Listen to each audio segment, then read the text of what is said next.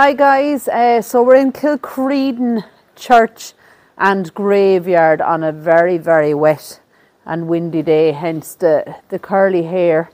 Um, but there's just a spooky kind of effigy here to my left that I thought I would put up.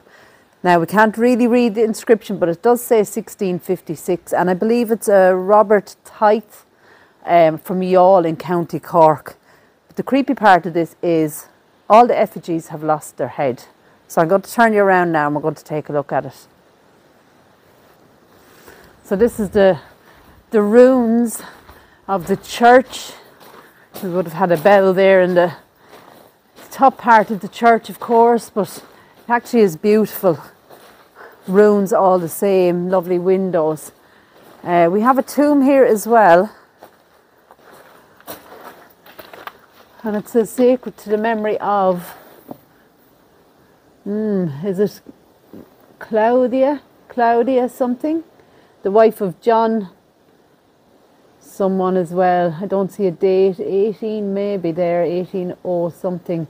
Very hard to read. And unfortunately, we have no roof on this area. So, you know, anything that's here is going to get pretty weather worn. Now, we do have little rooms over the effigies. So these are the first ones and there's no plaque here, but any information we find, we'll put it up over the video. Look at this. I mean, it is beautiful, but both have lost their heads. Now, they have tried somehow, you know, to prevent any more weather damage by putting that little kind of corrugated roof over it. Uh, but unfortunately, the Irish weather will get at the, those still. But look at this one.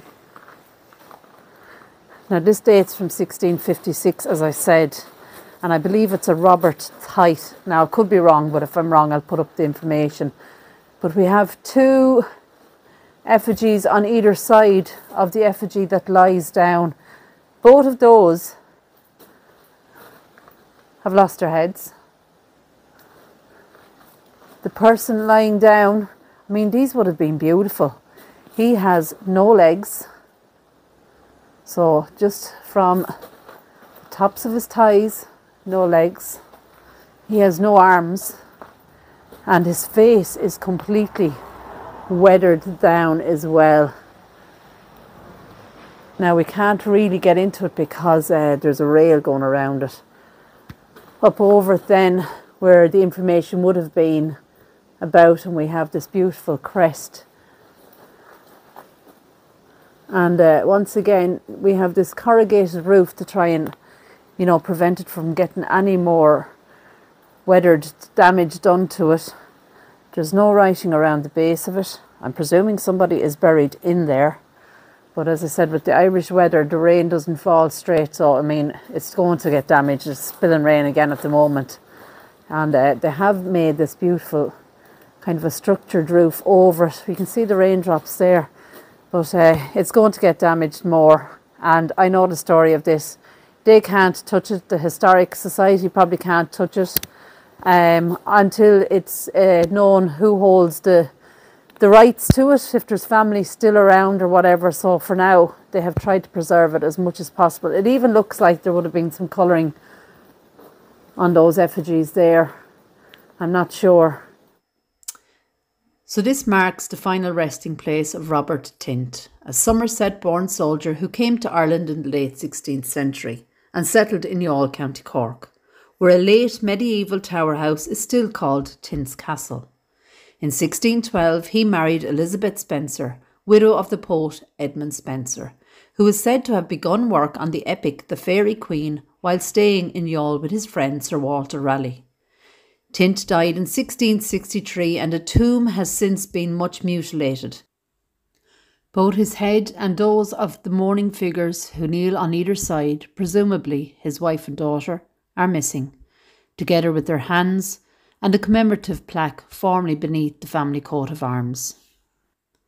Similar butchery has taken place on another memorial tomb high on the facing wall, this one commemorating Edward Harris, a Devon born lawyer who became Chief Justice of Munster and was buried here together with his wife following his death in 1636.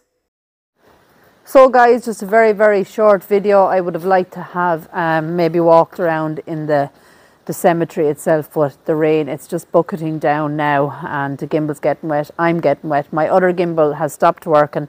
So I'm hoping when I get home, I can download the app and uh, get it fired up again. So I'm using Grave Visitations gimbal.